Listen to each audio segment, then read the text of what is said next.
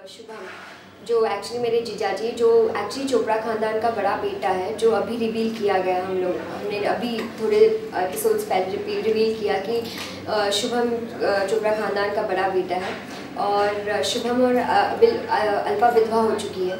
तो अब फिर भी उन दोनों के बीच वो प्यार बरकरार है they still love each other तो वो सिर्फ़ मैं ही जानती हूँ। तो अब ऐसा बताया कि मेरी दादी मुझे बोली अब तुम अल्पा के घर जाओ। शादी चोपड़ा खानदान के सारे परिवार जो लोग हैं, जो सदस्य हैं चोपड़ा खानदान में, वो रेडी हो चुके हैं कि ठीक है, हम अल्पा और शुभम की शादी करवा देंगे और अल्पा इस घर की बहू बनकर आएगी। तो बस मेरी दादी बोलती है कि तुम जाओ अपने मैके जाओ, अल्पा के साथ रहो, शादी की तैयारियाँ करो शॉपिंग करो उसके साथ और क्योंकि वो अकेली है, अब मेरे पापा भी मैं हमारे साथ नहीं रहते, वो जेल में है, नासिक के जेल में, और अम्मू तो का जो एग्ज़िट हो गया है। तो अब मैं ही हूँ जो उनके साथ एज ए रिश्तेदार बनकर आती हूँ, एक लड़की वालों की तरफ़ से आती हूँ, और सारी तैयारियाँ और सारी चीज़ें करने में उसकी मदद करती हूँ। तो इस तरह से हम, हमारी शादी की प्रिपरेशन चालू हो रही है। तो रुचा अगर बात की जाए कि पहले की भाभी की तो डॉली का और मनीष का जो रिश्ता दिखाया गया था, काफ़ी मतलब ऑन स्क्रीन की लगता वो लोग एक दूसरे के लिए बने हैं।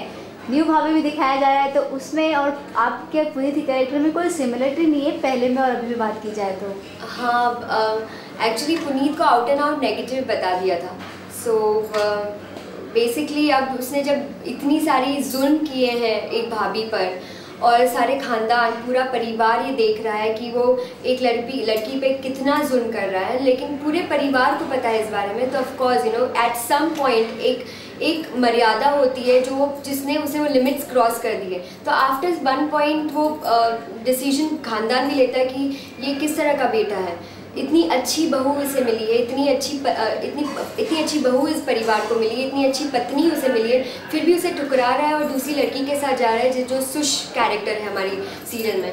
तो उसके साथ वो कानपुर भाग गया है तो मतलब everybody is in my support right now well in future coming episodes उसकी ऑफकोर्स उसकी एंट्री होगी। री एंट्री होगी जब वो रियलाइज़ करेगा कि अपनी मिस्टेक्स की मैंने क्या कुछ खो दिया एक लड़की के पीछे भागने में और एक जायदाद हासिल करने में उसने बहुत कुछ खो दिया अपना परिवार अपनी पत्नी सब कुछ। तो वो उसे रियलाइज़ होगा और फ्यूचर एपिसोड्स में दिखाया जाएगा। तो आने वाले कुछ दिनों में कुछ एपिसोड्स में बहुत कुछ ऐसा होने वाला है जिन जो दर्शक देख के बहुत आश्चर्यचकित हो जाएँगे। um, वैसे वैसे तो अभी दिखाई दे ही रहा है एंड लोगों को पता है कि एक देवर भाभी में जो एक स्पार्क है मतलब मैं जानती हूँ कि मेरी तरफ़ से फ्रेंडशिप है, क्योंकि मेरी एक मर्यादा है और मैं एक भाभी की एंगल से ही सोचूँगी, सुहाना के एंगल से नहीं सोचूँगी, पर उसकी अंदर की सुहाना जब जागती है, क्योंकि कहाँ, कहीं ना कहीं उसके अंदर भी कहीं ख्वाहिशें हैं, वो जो दबा कर रखती है, क्योंकि उसे पता है कि मैं ये सब ओपन नहीं कर सकती इन अराउंड फैमिली तो बस वही उसे पता है, लेकिन वो खुद एक मेच्योर लेवल पे पहुँच चुकी है। वो जानती है कि उसका देवर उसे चाहता है, उसे प्यार करता है, लेकिन वो ज़ाहिर नहीं होने देती अपनी तरफ़ से। क्योंकि अगर उसे ज़ाहिर होने दिया तो बिल्कुल गलत हो जाएगा, भाभी पॉइंट ऑफ़ व्यू से। तो इसलिए तो अभी इस तरह का एंगल चल रहा है and it's it's quite interesting अभी फ्यूचर एपिसोड में बहुत अच्छा लोगों को पसंद आ रहा है मेरी और निहाल की केमिस्ट्री मेरे देवर की केमिस्ट्री अब देखते हैं आगे किस तरह से डेवलप होती है स्टोरी तो आपने आप हमें कुछ ऐसे बता सकती कुछ इंसिडेंट जैसे कि बहुत जब देवर भाभी का रिश्ता था तो बहुत सारे मज़ाक होते हैं आपस में बहुत मज़ाक लेते हैं। वैसे कुछ मज़ाक बता सकती हैं जो आपस में लेकर हम लोग भी अपने घर में करते हैं अपने उससे तो कुछ आप बता सकती हैं? मैं काफ़ी उसको सीरियल में मैंने काफ़ी उसको चिढ़ाया है उसे उसके साथ मस्ती की हुई है।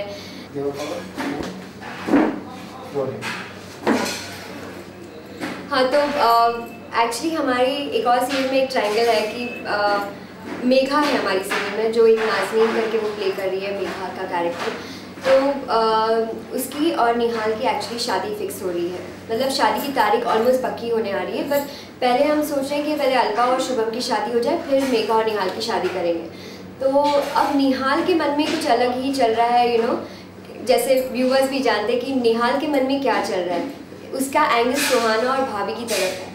But somewhere down the line even I know about कि उसके मन में क्या चल रहा है। बिकॉज़ आई हैव मैं एक मेच्योर स्टेज पर पहुँच चुकी हूँ। तो ऐसे पहले एपिसोड्स में बहुत हो चुका है कि मैंने मेघा को बहुत मेघा के, मेघा को लेकर बहुत चिढ़ाया कि अरे, तुम्हारी शादी हो रही है, अब मैं तो उसे देवरानी बनाने का सपना कब से देख रही हूँ, कब लेकर आ रहे हो, ये वो। हाँ अब तो डॉक्टर की ज़रूरत, तुम्हें मैं डॉक्टर की ज़रूरत तो अब तुम्हें ही है, क्योंकि अब वो डॉक्टर तुम्हें पेशेंट्स की तरह ट्रीट करेगी। तो काफ़ी ऐसी चीज़ें बहुत मस्ती, मज़ाक हुए हैं हमारे, हमें सीरियल में। तो ऐसे ऑन स्क्रीन और ऑफ़ स्क्रीन दोनों तरह हम लोग मज़ाक मस्ती करते ही रहते हैं। तो रुचा अब तक तो हमने काफ़ी शोज़ में बहुत सारे ट्रैक देखे लेकिन जो ये ट्रैक है देवर भाभी का ट्रैक आई थिंक शायद ये नया होगा दर्शकों के लिए। आपको क्या लगता है? हाँ ये थोड़ा डिफरेंट है थोड़ा नया है और इसे हम आ, किस तरह से मोड़ देंगे किस तरह से ट्विस्ट करेंगे ये हमें सस्पेंस रखूँगी क्योंकि एक यूजुअल कहानी की तरह नहीं होगी कि देवर भाभी की कहानी होगी। It's it's a complete friendship एक बहुत स्ट्रॉन्ग बॉन्डिंग बहुत अनकही चीज़ चल रही है हम दोनों में। लेकिन हम दोनों इस चीज़ को ज़ाहिर नहीं कर रहे because we know are limitation that ये लिमिटेशन हम क्रॉस नहीं कर सकते। तो इस तरह का जो डेवलपमेंट हो रही है I will I will leave for the viewers to think about it because एक एक स्पार्क और एक सस्पेंस भी और थ्रिल भी होता है यू नो कि अब इसके बाद क्या होने वाला है तो लेट द व्यूअर्स तो कुछ थोड़ा सा बोल्ड होगा ये ऐसा कह सकते हैं आने वाले दिनों में कुछ बहुत ज़्यादा बोल्ड लगेगा? अब नहीं वो मैं कुछ रिवील नहीं करना चाहूँगी बट अब जैसे जैसा आप देख रहे हैं वैसे आप लोगों को दिख रहा है और बहुत सारे व्यूअर्स भी पता चल रहा है कि ज़रूर कुछ देवर और भाभी में होना चाहिए मुझे काफ़ी लोग बोले भी कि तुम्हारी शादी होने वाली है देव तुम्हारे देवर से। तो मतलब वो तुम्हें देखना पड़ेगा मैं खुद कुछ रिवील नहीं कर पाऊँगी नहीं तो फिर आप शो देखना मन कर देंगे। तो ऑडियंस कितना एक्सेप्ट कर कर पाएगी इसको? आपको क्या लगता है जो दिखा रहे हैं? जितना इस इस देवर और भाभी की जो अभी फ़िलहाल चल रही they are very like completely like a friends मतलब हर चीज़ हर एक छोटी चीज़ वो अपने एक दूसरे के साथ शेयर करते हैं जैसे एक फ्रेंड शेयर करते हैं एक बेस्ट फ्रेंड शेयर करते हैं. पर there is little more to the friendship जो हम ज़ुबान पर नहीं लाते we can't say that so is there is something very fishy about the whole thing but I really don't want to reveal it right तो आपको personally क्या लगता है? जब ये स्टोरी हुई थी तो आपने कुछ अपने इनपुट्स कुछ सजेशंस दिए थे? मैंने आ, हाँ एक एक और सजेशन दिया था कि वो जो आ, अब ऐसे भी होने वाला है फ्यूचर में कि मतलब मेघा हमारे एक्चुअली बेसिकली वो ट्विस्ट होने वाला है कि मेघा भी मेघा के साथ एक ट्राइंगल बनने वाला है। और मेघा ये देखती है कि यू नो भाभी is inclined and David is my David Nihal is very much inclined towards भाभी. तो हमेशा भाभी भाभी करते रहता है. हमेशा मतलब हर चीज़ उसे जो करनी होती है, वो भाभी से पूछता है. बिना भाभी से पूछे, वो एक चीज़ भी नहीं कर पाता. तो हर चीज़ में वो मेरी गाइडेंस लेता है. हर चीज़ में मुझे पूछता है. तो ये मेघा को खटकता है. कहीं ना कहीं मेघा को लगता है कि she is an very obsess lover and she very much in love with Nihal तो उसे कहीं ना कहीं लगता है कि निहाल उससे दूर जा रहा है और इसकी वजह भाभी है। तो इस तरह से एक ट्रायंगल बना और then we are misunderstanding between the three of us तो कहीं कुछ लगता है कि अभी ज़रूरत है आपको सजेशन देने की या सब कुछ ठीक ठाक चल रहा है? आई थिंक अभी सब कुछ ठीक ठाक चल रहा है। वैसे स्टोरी काफ़ी अच्छी चल रही है। अभी अल्पा शुभम की शादी होगी अल्पा घर पर आ जाएगी। फिर एक देवरानी और जेठानी मतलब फिर शायद शायद पता नहीं मेघा भी हमारे अगर मेघा की शादी निहाल से है तो मेघा भी शादी करके आएगी। तो इट्स गोना बी भाभी इन बिटवीन देवरानी एंड जेठानी सो तो इस तरह से uh, आगे की स्टोरी का डेवलपमेंट मैं आपको बताई तो कुछ होने वाला है। तो क्या लगता है कि भाभी शुरू हुआ था तो आपको एक भाभी का रिश्ता मिला था? अब नए नए कितने रिश्ते मिलते जा रहे हैं? बहुत सारे और बहुत सारों की पहचान बहुत सारे रिश्तों की पहचान मिल रही है। और अभी से ही मैं एक्सपीरियंस कर रही हूँ at this age and I am feeling very much excited and very great because क्योंकि uh, uh, एक एक्सपीरियंस कर लिया मैंने शादी करे बिना ही सब सारे रिश्तों को पहचान लिया सारे रिश्तों की समझ कर ली है तो I mean it's it's wonderful experience तो रिश्ते बता सकते हैं आप हमें कि जैसे कि देवर का है दादी के? साथ बड़े चाचा बड़ी चाची फिर मेरी बड़ी बहन शुभम जो मेरे जीजाजी बनकर आएँगे, फिर देवर के साथ ऑलमोस्ट ऑल सभी रिश्ते मुझे मिल चुके हैं। तो अब इससे अच्छी बात क्या हो सकती है? पूरी एक फैमिली मुझे मिल चुकी है और सब मुझे अच्छी तरह से काम पर भी करते हैं यहाँ पर।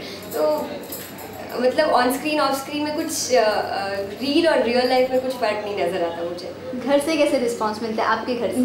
मेरी मॉम तो बहुत एक्साइटेड है ये सब देखकर कि मेरी मॉम मतलब एटलीस्ट ने साड़ी पहननी शुरू कर दी है। मतलब शादी नहीं हुई है।